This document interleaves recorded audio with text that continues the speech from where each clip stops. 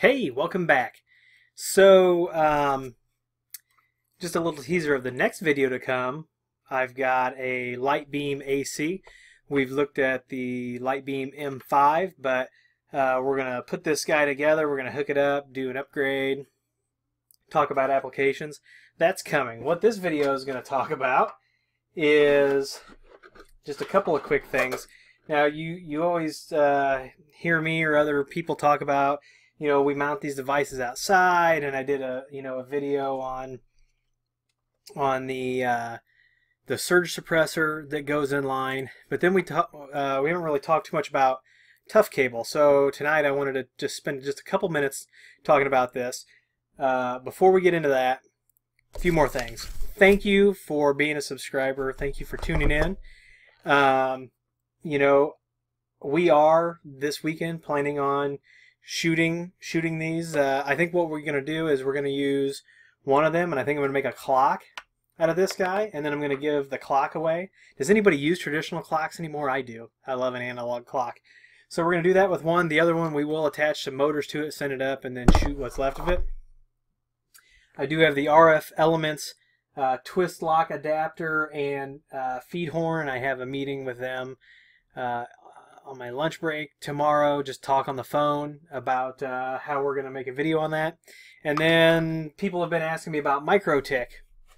And, um, you know, I've never used MikroTik, but somebody's like, hey, you want to want to do some MikroTik? And I say yes, and the next thing I know, uh, these are showing up at my door. So uh, there's going to be videos on these. The first device is this HAP light and when we get to the video um, I'll explain what it is. I'm not really you know 100% sure. So I know it's uh, it's an access point, it's lightweight. And then the other piece of hardware that showed up, um, and if you follow me on Instagram and Twitter, you would have seen uh, the pictures of this, but this is uh, this is a router board box, and I think that this is akin to the uh, the Edge Router X. So we'll get these guys plugged in, get them configured, see how they work. Um, they both came with uh, level uh, 4 software licensing. And I don't know if I've talked about it, but I'm not a huge fan of charging people for the features and, and things like that. So let's talk about Tough Cable. What is Tough Cable? I've got a little piece here, and I use the Tough Cable uh, Pro, not the carrier. Uh, my you know my runs don't demand um, the extra anti-crosstalk divider and and things like that and uh, the extra braided shielding. So this is the pro and so it's got this um, UV weatherproof jacket on the outside. Then on the inside it's got a foil shield. It's got an ESD drain wire. Um, it's got the uh, insulation and then when they say conductor, that means the actual um, individual wires or conductors. And then it's got the ripcord. So we'll uh, take this piece of wire apart here in a minute so you can see that. Um, now it does have the uh, the tough connectors to go with and I do use tough connectors too and I don't know if you can see this guy but this is what a tough connector looks like and it's got a solderless um, connector here for the ESD drain wire, which is fantastic. You just slide the uh, little guy through there and crimp it on there. No soldering. So you can really go to town and deploy these things very quickly. Now, they're not as cheap as standard RJ45s, but if you're doing professional installations, don't don't you know don't skimp out on you know quality product. And I'm not saying you have to use the Ubiquiti. I just use Ubiquiti everything. That way, if there's ever a question, you know, I know exactly where the parts came from. So you can take a look here on their website, ubnt.com slash accessory accessory slash tough cable. The TC Pro is uh, and the carrier are both uh, category 5E. The carrier has the anti-crosstalk divider and the braid shield, but they both have the um, the foil shield. And then here you can see that RJ45 is just showing you, and then here's the other one that actually has the ground connector on it, and we do use those too.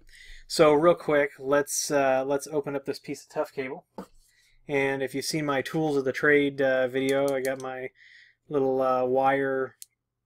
I don't even know the the name for this thing is insanely long, but it works like a clothespin. You put it on there, you spin it a few times. Now this is going to take a little bit longer because this jacket's a lot tougher than uh, you know your standard Cat Five. And when we roll this guy back, I mean you can see how difficult it was for me to pull that little bit of jacket off there. So here's that rip cord, and that's uh, that's garbage. So uh, we'll get rid of that guy for now. I mean, it's garbage for our application. That is what I meant. So then you've got this nice blue. Um, this is that uh, foil shield. So then when we start uh, peeling this back, peel that foil shield off there.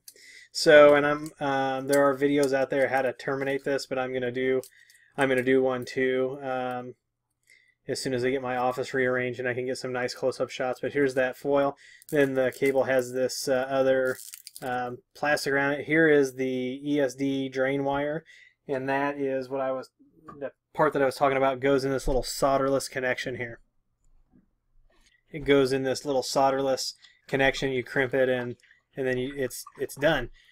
So you peel that guy back, and then of course you the plastic stuff is a nightmare to deal with. So, and then of course you've got here's your pairs of conductors. So a pair is two. So um, if you've got any questions about tough cable, about grounding, how I do it, how we do it, why you should do it, you should always do it. But if you've got any questions about, you know, the tough cable, um, you know, like I said, there will be a termination video coming out. So, um, and Ubiquiti has one on their uh, channel where they um, they do the uh, tough cable carrier, and that braid on the outside cracks me up watching watching those guys do that.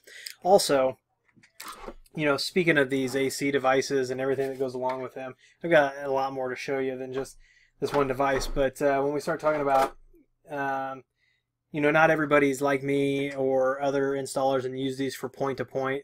You know, a lot of this gear is sold to be CPE or you know customer premise equipment.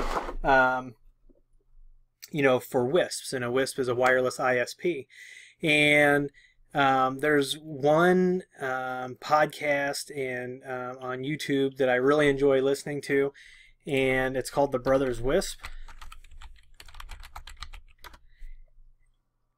And they have uh, they have a website. It's thebrotherswisp.com. And then they also talk about you know they actually have video links here to their their podcast. And if you want to know what it's like to run a WISP, you know, everything that's involved in it, hop on over to the Brothers WISP and, and subscribe and listen to those guys. Uh, this is it for now. We are going to get to some of those technical videos here. Uh, look for a lot more videos starting to come out um, here in the next few days. If you like this video, give me a thumbs up. Please subscribe. Please comment and share. And we'll see you soon.